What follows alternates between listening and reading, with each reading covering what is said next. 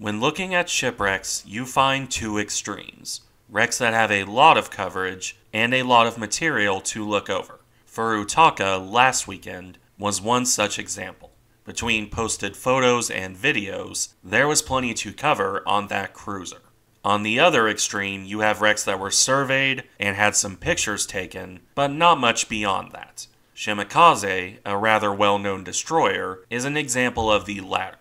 I brought her wreck up in passing when covering Furutaka. Something along the lines of, Good thing this ship has so much material, because Shimakaze doesn't. That was not a lie. While surveyed back in 2017, still relatively recently, Shimakaze has very little release material. I will cover that material in as much detail as I can, but this will remain a fairly short video by shipwreck standards, albeit one I expect to get decent attention simply because Shimakaze is a popular ship, both because of World of Warships memes and because, well, things that have little to do with the ship herself. That aside, as always, a brief background on the sinking before we get into the wreck. That story, as is often the case with these shipwreck videos, revolves around the liberation of the Philippines. Shimakaze had been part of the Japanese force sent to the Battle of Leyte Gulf, specifically the Center Force, where she would pick up survivors from both Musashi and the cruiser Maya. In the case of the survivors from Maya, they had been aboard Musashi, so those men were rescued from the water twice over. This was a good thing for those survivors, but less so for Shimakaze. The destroyer was so overloaded with these extra men that she couldn't really fight in the battle off Samar on October 25, 1944. Shimakaze remained at the rear of the Japanese formation and mostly missed the battle. The destroyer had no chance to use her massive torpedo broadside as a result. The closest the ship came to actual combat was minor air attack which mostly amounted to strafing runs, as well as a collision with the destroyer Akishimo. This damage was so minor that the ship was almost immediately back in action, although that wouldn't last long. On November 4th, 1944, Shimakaze was assigned to escort a convoy from Manila to Ormoc. This would be her final mission, because the destroyer sailed right into the Battle of Ormoc Bay, a long running conflict that chewed up both sides. Multiple American destroyers were sunk, including USS Ward, in this area. The Japanese would also lose several destroyers, Shimakaze among them. That came on November 11th when Shimakaze was attacked from the air. The destroyer was damaged early on, drifting out of control and on fire. Those fires were also out of control and would eventually lead to the end of Shimakaze. After drifting for several hours, the fires reached something explosive, presumably the magazines for her main battery, unless the crew was unable to jettison the torpedoes. Either way, the destroyer blew apart in a massive explosion. She quickly sank, taking most of her crew down with her. Only 131 men were plucked from the water, but those were mixed in with crewmen from another destroyer. Between that and Japanese records being what they are, exactly how many of Shimakaze's crew survived is something of an open question. The other ship, for the record, was the Akizuki class destroyer Wakatsuki. That wreck was also found, and there are more pictures of her as well. So I'll cover that one in the future. For now, Shimakaze. After her sinking, the ship largely fell out of public attention. It was only relatively recently with World of Warships and other games that the ship gained a following, outside of really niche historical interest anyway. It's probably fitting that the wreck was found soon after that uptick in attention began.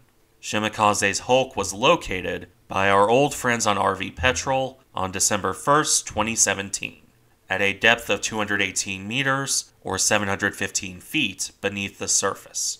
The wreck they located was in pretty terrible shape. The explosion that sank Shimakaze did a number on the destroyer, and there's very little recognizable from the hull. Most of the parts that can be recognized are the weaponry. It was the torpedo tubes, in particular, that identified the twisted debris as Shimakaze. Being as the weaponry is the part that can be identified, I'll begin with that. Let's start with this picture of one of the destroyer's main battery turrets. or what's left of it anyway. As you can probably see, most of the turret is gone. The top is missing, and much of the thin armor plate is gone with it. Only really the framework and the barrels themselves are left. Shimakaze carried three of these turrets, equipped with the traditional 12.7 centimeter or 5 inch gun that most Japanese destroyers used. There's apparently a commonly cited source that says one of these was removed in a 1944 refit. I'm not sure what source that actually is, which makes me dubious of commonly cited claims. Combined fleet and style make no mention of this with good reason as well, because pictures of the ship make it clear she entered service with three turrets and went down with three turrets. In fact, the only pictures we have of the ship are of her sea trials and her sinking. Regardless, on the bottom today, those turrets are rough. They're all pretty much destroyed, with sea life growing all over them. Here in this picture, we have the aft pair. While the first turret on the bow was upright, these two are inverted. I'm not sure from what we can see here if they're still on the ship or if they fell off. It's just too dark in the background to be sure. Either way, these are actually in slightly better shape than the bow one. Insofar as more of the armor and frame has actually survived the years underwater, although it looks like a barrel, marked with an arrow here, fell out of one of the turrets. Interestingly, while it's not the focus of the image, you can actually see inside one of the turrets. Not by much, but the armor is gone and the interior is exposed. With not much else to say about this, however, the next thing to look at are the torpedo tubes. Here we have the front of one of those mounts, with the rest completely buried in mud. However, enough is exposed to make identifying the wreck possible. While one of the tubes is pretty heavily damaged, there are still five identifiable tubes here.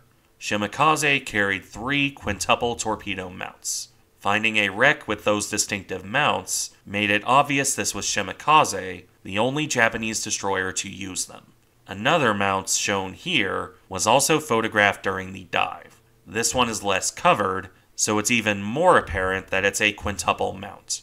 This is also the first real glimpse we get of the destroyer's hull, such as it is. There's not a lot of detail to make out, other than the fact the hull is on its side.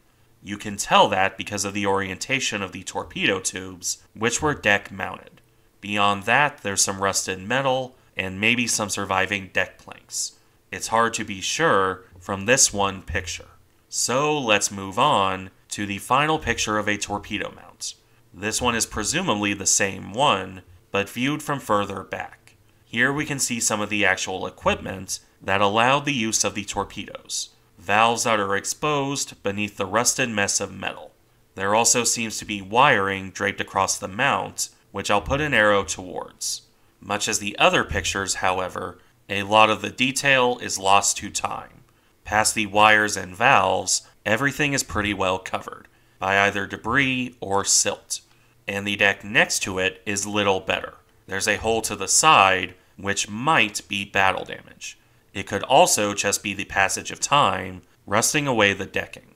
Without a better look, I can't be 100% certain. The sad thing is, this is the better looking part of the hull. The two pictures that Petrel took, focused entirely on the hull, are not pretty. Here we have the port shaft and what little remains of the stern above it. There's not much there.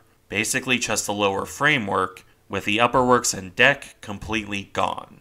Considering how these stern turrets ended up inverted, I'm guessing this area broke apart while sinking. That is, of course, just a guess. I can't be sure without further pictures or sonar.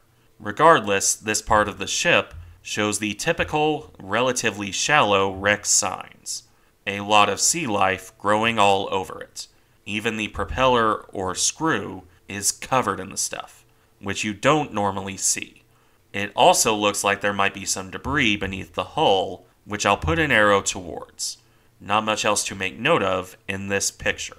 So, with one picture left, we've come to the end of the video. Another look at the hull, although exactly where, I don't know. Petrel didn't actually say where this is, from what I've found. I don't think it's the stern, but without some sort of indicator, I can't say it isn't. I also can't say it's the bow or amidships area because there just aren't any features giving that away. Not even the bilge keel. In fact, the only identifiable detail here are the degaussing wires seen here. The orientation of those indicate that the hull is on its side here, which implies it might be near the torpedo tubes from earlier. What this picture does demonstrate, however, is how bad the damage to the ship actually is. This area is shattered, with part of it completely gone. The wires and the hull they're attached to are cut off, and the rest of the structure beneath that area just vanishes into the darkness. Shimakaze, from the turrets to the hull, is a broken ship. Whatever the explosion was, it completely destroyed her. In light of that, I can't say I'm surprised there are so few pictures. Seven total from what I was able to find maybe something else will turn up and I can do a follow up video. For now, we come to the end of Shimakaze's wreck. It's not a pretty one, but that doesn't mean she isn't worth looking at. To me, at least. Thank you for watching. Remember to like, comment, and subscribe if you enjoy the content, and I'll see you in the next one.